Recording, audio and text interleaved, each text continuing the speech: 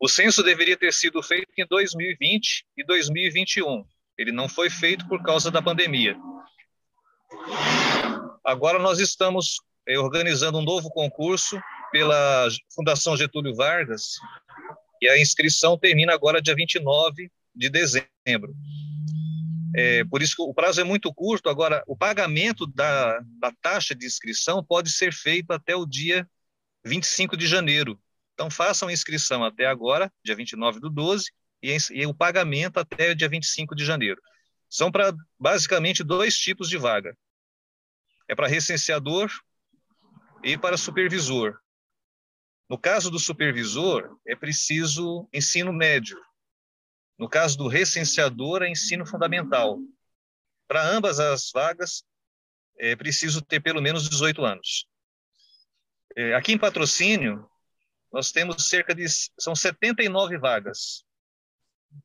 São 69 para recenseador e 10 vagas para supervisor.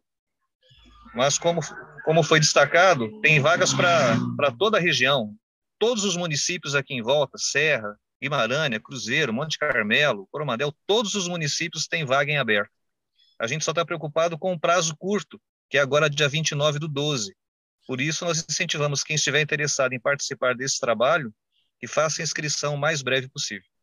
É, basta entrar no site da Getúlio Vargas ou no site do IBGE, que, que tem mais informações. Basicamente, qualquer pessoa pode participar, tendo esses requisitos básicos: 18 anos, ensino fundamental para recenseador e ensino médio para supervisor. Supervisor, o salário vai estar em torno de mil reais.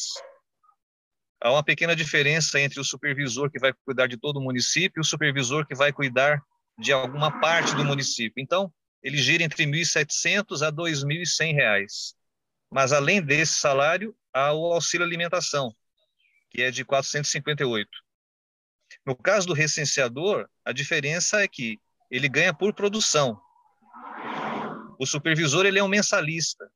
Ele vai trabalhar conosco cerca de cinco meses. No caso do recenseador, ele vai trabalhar conosco cerca de três meses, que é o período do censo, que deve começar por volta do meio do ano, entre julho mais ou menos, começa o trabalho de campo. No caso do recenseador, ele pega uma quantidade de de setores ou de bairros para trabalhar, quanto mais ele recenseia, mais ele ganha. O prazo é muito curto e a importância do censo.